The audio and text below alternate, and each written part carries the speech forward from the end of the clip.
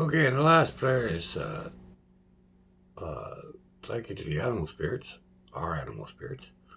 Um, so the very end of this, I'm not going to tell you, but it's basically uh, at the end, you just add your animal spirits and say thank you to them uh, any way you, you see fit uh, for yourself. Okay. Thank you to our animal spirits, our guides, and our totems. You are our teachers, protectors, and our shields, walking ever with us on our spiritual pathways, ready to help at a moment's notice. Help us to listen and understand the lessons and the teaching of your ways. Help us to open our minds to receive these blessings.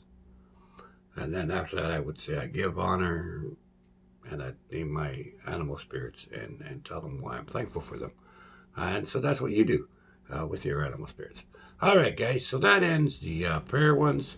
Um, thank you for joining uh, for the 15 prayers and the classes if you have.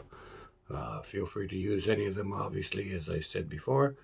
And so that's it. Uh, we're now done with these classes.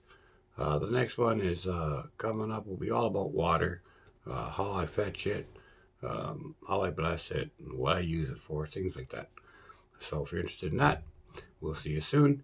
Uh, but anyway, that's it for now. So thank you uh, for for joining me, and uh, feel free, like I say, if if uh, any of this is useful to you, feel free.